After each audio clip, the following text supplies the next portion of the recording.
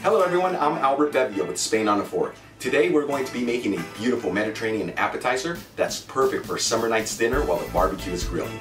We're going to be making some homemade flatbread along with some homemade tzatziki. This appetizer is refreshing and healthy, it has a gorgeous flavor, and I'm going to show you an easy way to make it. Alright, the first thing we're going to do is make our tzatziki sauce. So let's grab one small cucumber, let's cut about half an inch off each end, then cut it in half and take off the seeds with a spoon. Now let's grab a grater, let's put it on top of a plate, and let's finely grate our cucumber.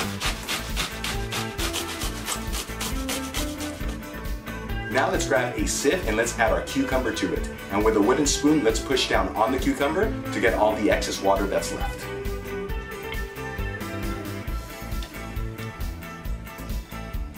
Okay, I've added one cup of Greek yogurt to a bowl. Now let's grab our cucumber and add it to the yogurt.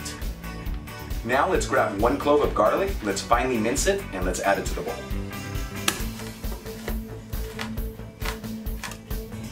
Now let's add two tablespoons of extra virgin Spanish olive oil, one teaspoon of freshly squeezed lemon juice, and half a tablespoon of dried dill. Now let's season it with sea salt and a generous portion of freshly cracked black pepper. And now let's mix it all together. Now let's grab some saran wrap, let's cover our tzatziki and let's put it in the refrigerator. Okay, while our tzatziki is in the fridge developing all these beautiful flavors, let's start to make the dough for our flatbreads. Let's begin by adding one cup of spelt flour to a bowl. Now let's add one and a half teaspoons of baking powder, half a teaspoon of sea salt, a quarter teaspoon of white sugar, one tablespoon of extra virgin Spanish olive oil, and a generous one-third cup of lukewarm water. Now let's mix it all together until we form a dough. Now let's add some all-purpose flour to a flat surface and add our dough on top and knead it for a couple minutes. And after kneading your dough for a couple minutes, let's go ahead and shape it in the design of a log. And let's cut it into six evenly sized pieces. Now let's grab a roller and let's roll out our six pieces of dough. We're going to be making a circular design that's about 1 8 of an inch in thickness.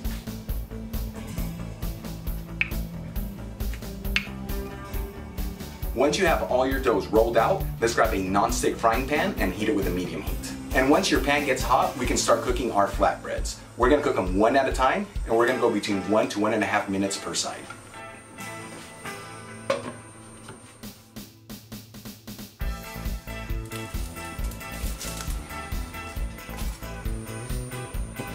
And once you have all your flatbreads cooked, let's go ahead and drizzle a little bit of extra virgin Spanish olive oil on top of each piece.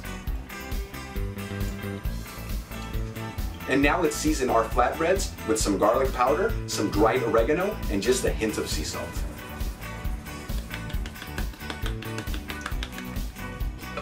Now let's cut each flatbread into four quarters and let's begin to plate our dish.